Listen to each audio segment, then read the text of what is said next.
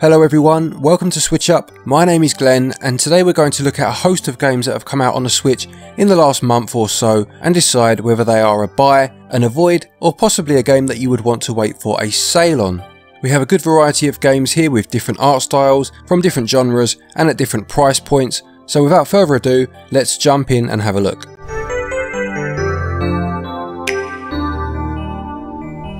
Coming up first then is a game called Turmoil which is a simulation game inspired by the oil rush in 19th century North America. Your aim is to become a successful oil entrepreneur, auctioning for land against other barons and then digging for oil in order to make as much profit as you can. You need to locate the oil underground and then store and transport it to town. However, there is the potential of more than one buyer and their prices will fluctuate. Switching buyers as one's price increases over the other, all of which is being done against the clock as you only lease the land for a certain number of months. You must decide how many oil towers to set up keeping yourself in a position to maximise the oil you claim whilst not eating too far into your profit margin and you can also upgrade things such as the width of your pumps but also the methods in which you search for the oil. Do you use the tried and tested plus much cheaper dowser technique or invest in newfangled scanner technology? It's up to you. With a campaign mode plus DLC pack, The Heat is On, included in the price of £13.49,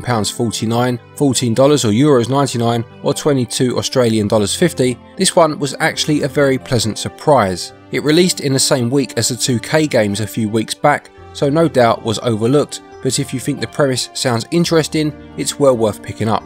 This for me is a definite buy.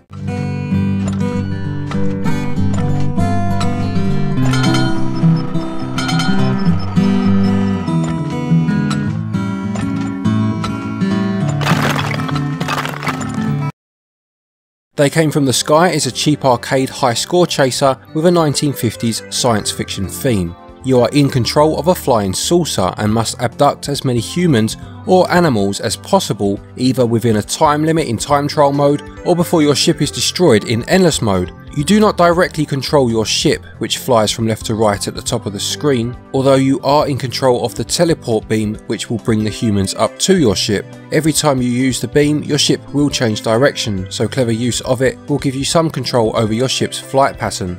There are various power-ups to collect as well as time extensions and coins that when collected can be used to buy new ships, each with slight variations in elements such as their top speed or maximum hit points, and I found myself having a lot of fun with this one. It costs £2.69, $2 or Euros 99 or 4 Australian dollars 50, and as long as you know what you're getting, something to spend 10 minutes on here and there, and have any sort of affinity for 1950s sci-fi like I do, then again, this is a no-brainer for me, it's a buy.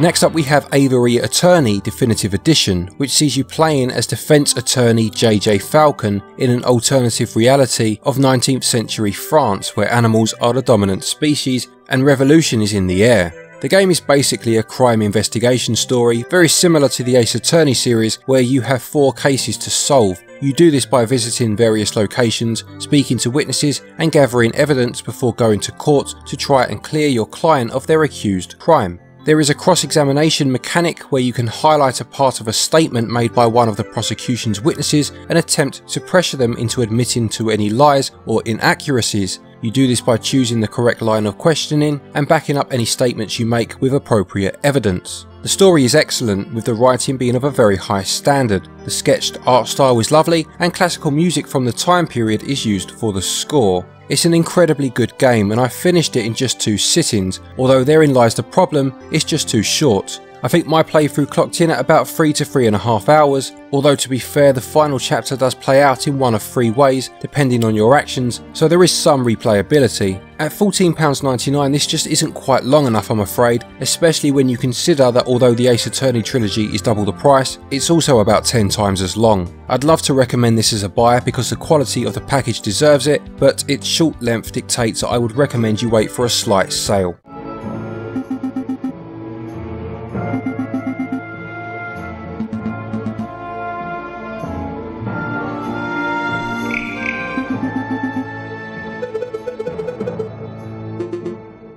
Cheers Glen. I've been playing through Xenoblade Chronicles the Definitive Edition, and not having played it originally like Glen did, I'm very much in that honeymoon period with the title. And with a number of patches since launch, actually I decided to look at the performance as well as the gameplay. And I've got to be honest, I think I'm enjoying it more than I did my time with the second game so far. Performance is absolutely slick right now, they're looking at 30 frames per second at all times. The audio is lovely. I do like the little visual tweaks and changes they've made. The resolution doesn't seem to be as bad as it was at launch, particularly when you're looking at things like the grass. It's not quite as much of a uh, blurry mess. But so far, I love the game. I really enjoy the combat system. There's definitely a learning curve here if you've not played the series before, but what Xenoblade does really well is build your affinity with the characters nice and quickly so that when tragedies happen, you actually do care. And it's what a lot of RPGs fail to achieve. For me, this is an essential buy for any RPG or JRPG fan.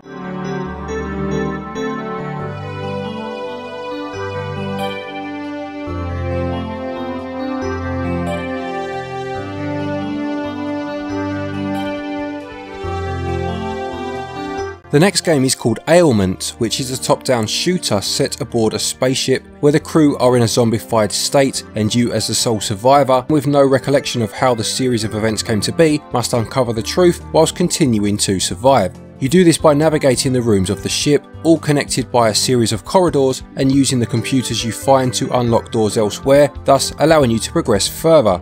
It looked for all the world like a game that would be a roguelike, but actually it's not. It's instead level based, and I suppose you could compare it to something like Alien Breed in some respects. In terms of positives, the map works well, the basic premise is interesting, and it's pretty cheap at £7.19 but there are negatives too, I'm afraid. First of all, it's not a twin stick shooter, as no doubt you would have expected by looking at the gameplay. You move your character with the left stick, and aiming at enemies is automatic as long as you hold down the fire button. This didn't feel satisfying enough for me, I've got to be honest. And next, a lot of the time you're being attacked in tight corridors, and it's almost impossible not to get hit. You can take the fight into larger spaces, but you've lost a fair chunk of health by then. At other times you are attacked before you've even seen the enemy, which makes it just seem a tad unfair. This is not a terrible game by any stretch, but even at its cheap price, personally, I would avoid.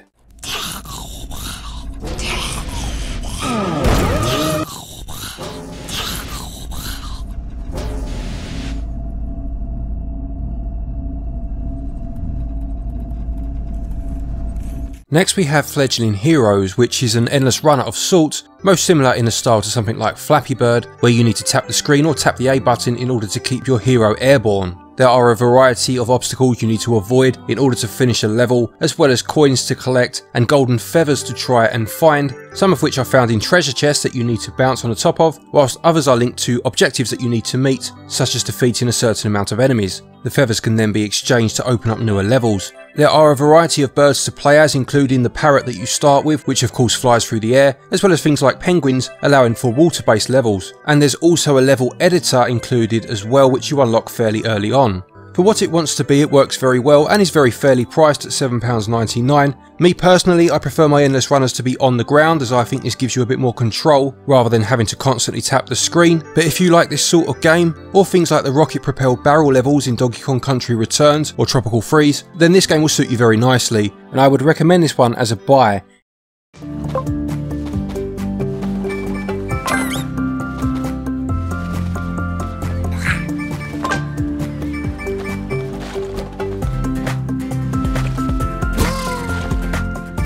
The next game is Vampire the Masquerade Coteries of New York, which is based on a tabletop game, although the game steers clear of any tabletop mechanics, instead playing out as a visual novel, choose your own adventure type experience. The basic premise is that you are turned into a vampire and will join a faction and need to almost make your way up the ladder, making allies and obviously a few enemies as you go. The first thing I want to say is that the writing is of a very high standard. From the moment you are turned, the world of vampirism is fleshed out beautifully, from the class systems and traditions, down to little touches such as the exact taste of each new feast of blood being described. There are three factions to choose from at the start of the game, and as you would expect, the story takes a slightly different turn depending on your choices. A big part of the moral choice is walking the line between hunting humans enough to curb the beast inside you, as the game puts it, but not hunting so much that you lose your humanity. Static images are used throughout, but these are drawn to a high standard and really fit the high society, romanticised, almost sexualised persona that vampirism has been given through the years. I very much enjoyed this game, and if you have any interest in visual novels, I would most certainly recommend it. However, much like Aviary Attorney, it's just a bit too short, coming in at about 6 hours for your £17.99. Reluctantly, I would advise waiting for a sale because of this, but again, this is a very good game if you like the genre.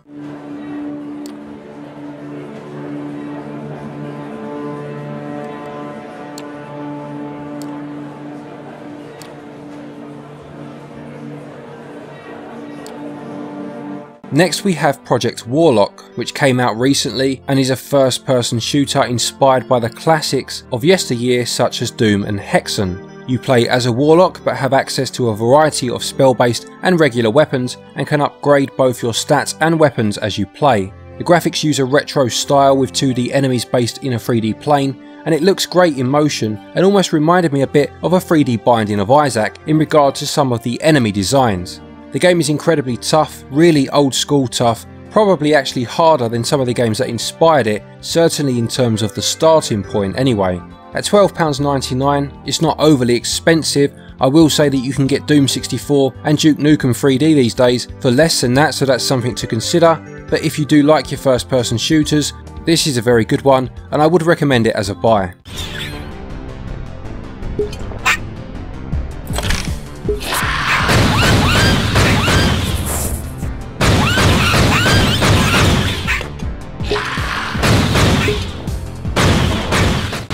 Infini came out last week and is a puzzle game with a very psychedelic tone where you need to guide your character to the exit on each stage in order to move on. Things start out simple enough with you controlling his movement as gravity pulls him down, looking to avoid the walls or any other obstacles, but soon enough you will be learning new skills that allow for more elaborate puzzles, with early skills including being able to slow down or speed up your character, but ultimately the powers do increase past this. The blurb mentions that there are about 8 hours worth of gameplay for the £10.80 you'll be paying, and whilst I did enjoy the puzzling, the quite abstract nature of the design, the strange sound effects, and the cutscenes were just not to my taste at all. If you like the look, then the puzzling is decent enough to recommend, but as I didn't care for the art style at all, I can't say much better than waiting for a sale with this one. I will say that there is a demo available, so perhaps try this out first to get a feel for it.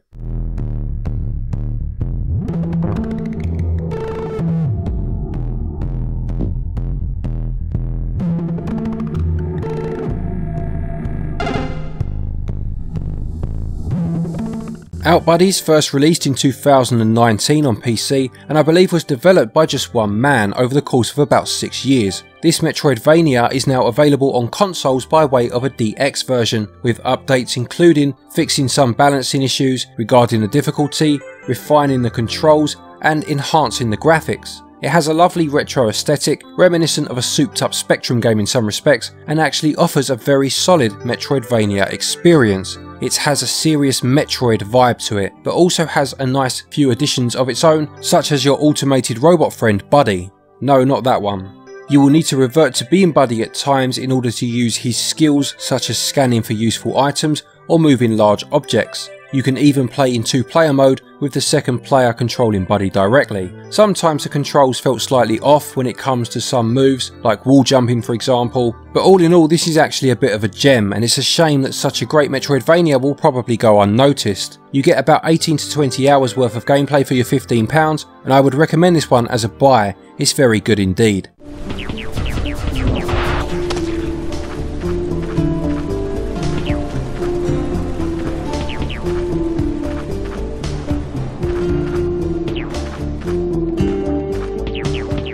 And we have Star Horizon, which is an on-rails space shooter which was originally on mobile devices back in 2014. Here you have 10 missions with upgradable ships, branching pathways in terms of some of the decisions you make during levels, and a number of different weapons to collect. Now when you first start playing the game the ship feels quite responsive, which is nice, but my biggest problem with it is the line of fire in which your bullets take and the aiming reticule that you have on screen don't seem to correlate. This leads to quite a few confusing moments where you're sure you're hitting an enemy because your bullets are going straight at it, but because your aiming reticule isn't on them, you're doing no damage. And it led to quite a few deaths while my brain processed what I was doing wrong, and for me this was quite an immersion breaker. At £8.99 I certainly didn't hate it, but to be honest, I'd rather fire up the Switch Online Super Nintendo app and play Starwing or Star Fox instead. Unfortunately for me, this one is an avoid.